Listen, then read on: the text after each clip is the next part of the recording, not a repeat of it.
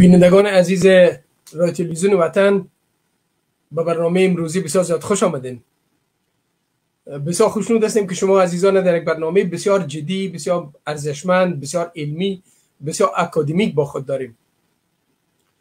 در برنامه امروزی مسائل بسیار اساسی و جدی در رابطه با زندگی حتی بشریت و باز مردم ما و سرنوشت جامعه ما دکتر سب نور احمد خالدی دعوت شدن که بسیار زیاد خوش آمدین دکتر سب تشکر. سلام عرض می‌کنم خدمت بیننده های محترم تلویزیون وطن. سپاسگزار هستیم. برای بیننده های عزیزم بسیار خوش آمدید خوش آمدید میگم بر شما. همچنان بسیار خوش خوش هستیم که امروز سر یک بحث بسیار اکادمیک و علمی دکتر سب صحبت می‌کنن اینا یک رساله را به چاپ رساندن یا نشر کردن در جستجوی نظام اقتصادی سیاسی و اجتماعی. عمدتا برای افغانستان. در این رساله که بسیار ارزشمند و علمی که اینا نوشته کردن تحلیل های بسیار جالب دارن و خصوص بعد از جنگ دوم جهانی سر نظام های لیبرال دموکراسی غربی سر نظام های سوسیالیستی تناقضات از اینا نتایج از اینا نتایج رقابت ها در شرایط جنگ. بالاخره سر سر وضعیت کنونی جهان و چیز بسیار جالبه که در این رساله هست. تحلیل بسیار عمیقی که دارن که یک بدیل نظام های لیبرال دموکراسی و بدیل نظام های سوسیالیستی را برای زندگی بشریت که چگونه نظام ها جامعه بشری و سوی رفاه و ترقی میکشانه چگونه چگونه نظام ها هم دموکراسی را مراد می‌کنه هم رفاه و پیشرفت و ترقی و آبادانی کشورها را به وجود میره تجربه از سالهای 1970 و بعد چگونه است تا کنون سر از توضیحات بسیار مشکافانه علمی اکادمیک دکتر سب خالدی دادن که واقعا آموزش ازی برای روشنفکری جامعه ما بسیار موثر است بسیار ضرور است. من تاکید می‌کنم که من این رساله را خواندم. بسیار ارزشمند است و این به خصوص که در میان تمام این چالش ها و تناقضات جهانی بین دموکراسی لیبرال و اندیشه های چپ کمونیستی در تناقض ازی و در وضعیت کنونی جهانی چی رهنمودهایی وجود داره که چطور یک نظام کارا به خاطر رفاه و ترقی انسانی یک جامعه در نظر گرفته شود. چگونه انسان ها از این بدبختی و جنگ و تناقضات نجات بفن در این رساله توضیحات داده شده. دکتر سیم خالدی عزیز بفرمایید. خوش آمدید. قسمی که محترم پایمن فرمودن در صحبت امروز ما تجربه هفتاد سال گذشته حکومتداری در افغانستان بررسی می‌کنیم. و بخصوص این تجربه را با داشته های سیاسی و علمی دولتداری و حکومتداری در سطح جهانی در امو چوکات این جهان بینی ها این ما مورد ارزیابی قرار میدیم.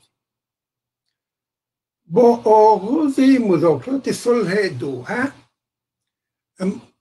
مردم افغانستان با اشتیاق و همچنان با نگرانی متوجه نتایج یا در آرزوی نتایج این مذاکرات هستند. چون در این مذاکرات سرنوشت نظام دولتی در افغانستان رقم زده میشه و صحبت میشه و این نگرانی واقعا وجود داره که ما بعد از هفتاد سال تجربه از نظام های مختلف چه چیزی را ما انتظار خواهیم داشت بعد از این مذاکرات دوحه و یا استقرار یک سال استقرار یک سال پایدار در افغانستان. استقرار یک سال پایدار در افغانستان صرف و صرف در موجودیت یک دولت ملی که در او حقوق اساسی تمام مردم افغانستان زمانت شده باشه و دولتی که بتانه قادر شود امنیت تامین کنه در افغانستان. دولتی که قادر شود سطح رفاه اجتماعی را بالا ببره. وضع عدالت اجتماعی در کشور بهبود ببخشه تنها در این صورت عملی است. یعنی ما هر نوع سال دیگه سال کوتاه مدت خواهد که این آرزوی مردم افغانستان نیست.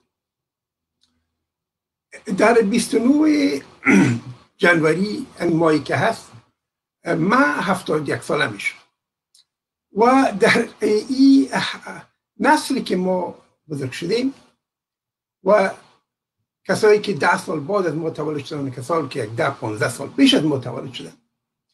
یا شاهد زنده امی حوادث افغانستان در هفتاد سال گذشته می ما وقتی نوجوان بودیم از پدرای خود در مورد ما داشم خان صدرازم میشنیدیم از در, از در مورد شامومود خان میشنیدیم. و از در مورد داود خان میشنیدیم البته داود خان وقت صدر بود و ما خود ما در یعنی نوجوانی صدارت از تا حدود تجربه داریم. این دوران قبل از دهه دموکراسی است. یعنی دورانی است که قبل از 1964 و در این دوران افغانستان در افغانستان یک نظام سلطنتی مطلقه حکومت می‌کرد. به این معنی که سلطنت موروسی حاکمیت کامل بالای دولت و مردم داشت و مردم در اداره دولت نقشی در تغییرات اداره دولت در نحوه اداره دولت و در سیاست های دولت نداشت. اقتصاد کشور. یک اقتصاد زراعتی روستایی نیمه فیودالی بود. و از لحاظ اقتصادی اگرچه پلان های اول دوم و سوم اقتصادی اجتماعی در زمان صدارت ده ساله داود خان مورد تطبیق قرار گرفته بود که نتیجه از او بهبود بعضی از زیربناهای ترانسپورتی و انرژی شده بود. اما باز هم افغانستان در قطار کمترین انکشاف یافته ترین کشورهای جهان قرار داشت. سطح بیسوادی سطح سواد بود. سطح سواد بیشتر از ده فیصد در کشور نبود. و این دلیل نمی‌تونست داشته که بیشتر باشه. برای اینکه در شهرهای بزرگ مانند هرات در شهریت مثلا سه لیسه وجود داشت. لیسه سلطان لیسه جامی و لیسه مهری. در اون شهر بزرگی در جلال فقط یک لیسه وجود داشت. در قندهار هم فکر می‌کنم دو لیسه بود. تنها در کابل پنج شش لیسه یعنی تعلیمات ثانوی وجود داشت. ولی در ولسوالی هیچ ولسوالی افغانستان تعلیمات ثانوی موجود نبود. و بهترین ولسوالی ها کسایی بودن که یک چیز داشت داشتن. مکتب ابتدایی, در اون موجود. در شهرهای مانند فرا یا فقط یک لیسه بود و یک مکتب دفترانه تا سطح ابتدایی. در نتیجه سطح بیسعودی آن بود. از لحاظ اقتصادی کشور بسیار ضعیف بود. میزان وفیات در افغانستان بسیار بالا بود. طول متوسط عمر در کشور از 38 سال بیشتر نبود. میزان وفیات کودکان این نوزادا را ارز کنم که 200 کودک یا نوزاد در هزار طفل بود. این شاخص ها این معیارها همه ای دال بر موجودیت عقب مانده ترین کشور در جهان می‌کنه. ما سی و هشت هزار ده در افغانستان داریم. این سی و هشت هزار ده هیچ کامش برق نداشت. و آب آشومیدنی صحیح لولکشی موجود نبود. خدمات صحی در هیچ کدام از وجود نبود. هیچ ولسوالی در افغانستان حتی یک مرکز اولی صحی نداشت. در این زمان بود که نظام سلطنتی علا حضرت زاهد شاه در صدد تغییر ازی برآمد و قانون اساسی تازه را نافذ کرد در سال 1964 و خواست افغانستان از سیاسی و اجتماعی در موقف قرار بده که بتانه به انکشاف اقتصادی به صورت جدی و سریع بپردازه این قانون اساسی زمانت داشت از سهمگیری مردم در امور سیاسی در امور دولت. ایجاد قوای سلاسی دولت جداگانه قوه اجرایی دولت قوه مقننه پارلمان متشکل از دو مجلس شورای ملی و ولسی جرگه و مشران جرگه و قوه قضایی مستقل برای اولین بار افغانستان در قطار کشورهای دموکراسی جهان قدلم کرد. در این زمان در هیچ کشور شرقی میانه اثری از دموکراسی وجود نداشت. شرقی میانه تا ایران. و در بسیاری از کشورهای افریقایی وجود نداشت. در بسیاری کشورهای آسیای شرقی دموکراسی موجود نداشت. در کشور هندوستان و پاکستان از سیستم دموکراسی وستمنستر مستفید دهی دموکراسی دهی روشنگری بود دهی بالندگی دهی بود که نیروهای روشنفکری شروع به جولان کردن شروع به پروبال کشیدن و با استفاده از شرایط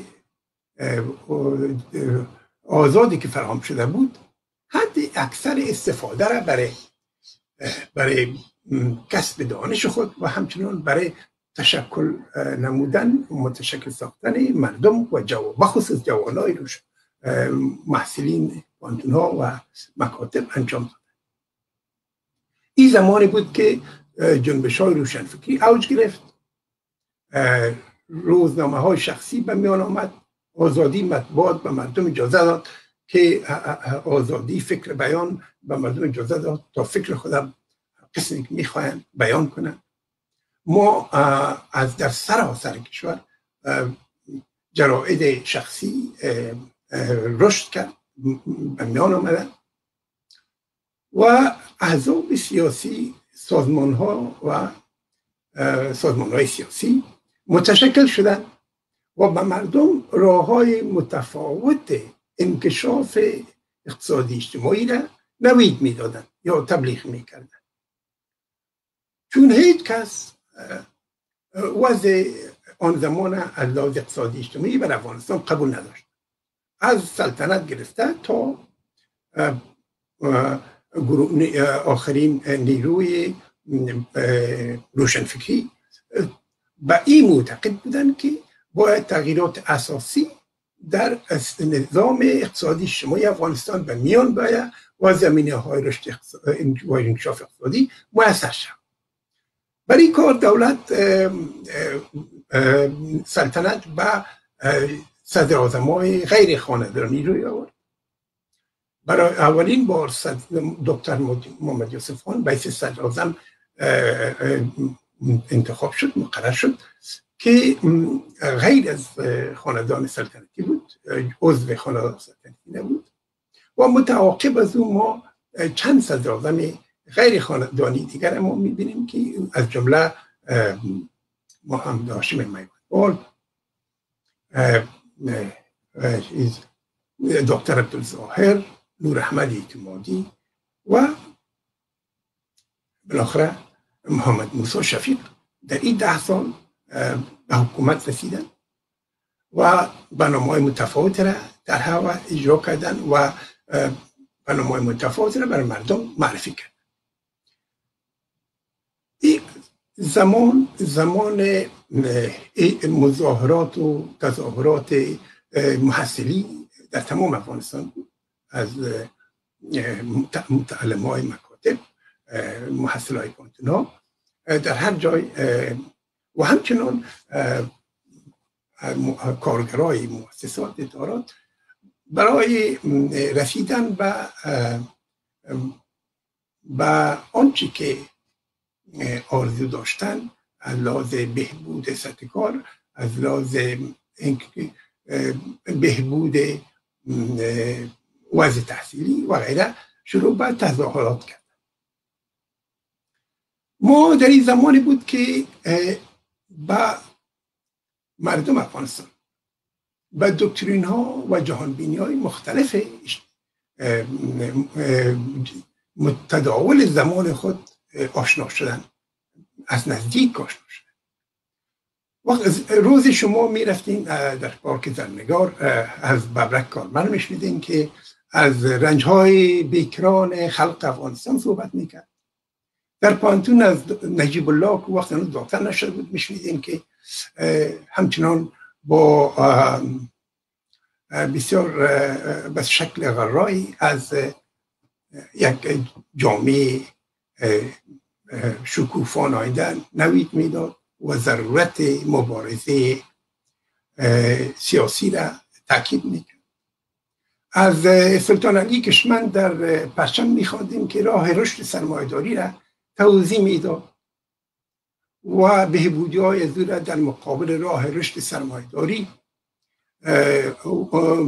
بر مردم واضح می ساخت و در او گفته می شد که راه رشد سرمایداری یک راه رشد پر رنج و درد برای مردم افغانستان خواهد. و بهترین راه راه رشد غیر سرمایداری است. البته در جای دیگه به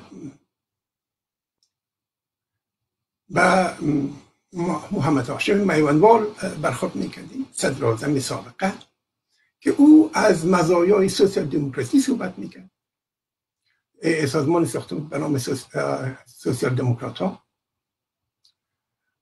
و روزنامه مساوات نظریات از منتشر می‌کرد. همچنان وقتی پانتون می آمدیم با گلبودین حکمتیار برخورد می‌کردیم که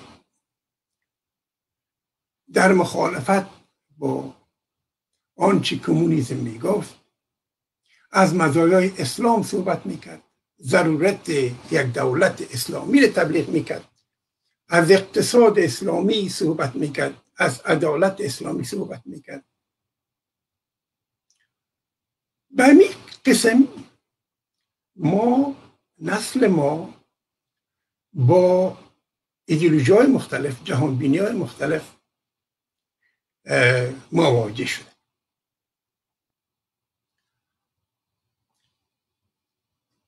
نظام مشروطی دموکراسی که در او در قانون اساسی 1964 مسجل شده بود. دولت نظام سلطنت در از حکومت جدا کرد. اعضای خاندان سلطنتی را از سهمگیری در دولت باز داشت. یک تعداد مردم ناآگاه فکر می‌کنن که بر مخالفت بر داود خان صورت نه خیر.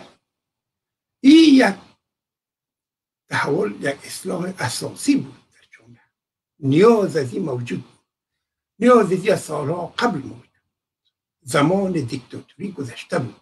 مردم تحول می‌خواستند. مردم حق و حقوق مسائل می‌خواستند. مردم حقوق می‌خواستن آزادی بیان وجود داشته باشن می‌خواستن در دولت سهیم باشن داود خان کوچکتر از او بود که در این مسائل تنها به خاطر ای که ایشان در صدر اعظم نباشن وضع شده باشن سردار محمود خان ده سال صدر اعظم کرده بود و مردم دیده بودن نتایج کافی بود. دهه دموکراسی دهه ازی بود که ما زمینه های پیشرفت آینده را میسر می‌کرد زمانی بود که ما تجربه کردیم اصول دموکراسی را روش دموکراسی را. متاسفانه همون قسمی که معرفی دموکراسی در افغانستان یک پدیده تازه بود. مشکلات مختلف عدیدی مقابل از قرار داشت. این مشکلات یکی از مشکلات هم شامل این بود که کسایی که شروع کرده بودن به تطبیق دموکراسی واقعا به این عقیده نداشتن. بسیاری از اعضای دولت بسیاری از کسایی که در این پروسه شامل بودن آن گونه که لازم بود دموکراسی را حمایت نکرد.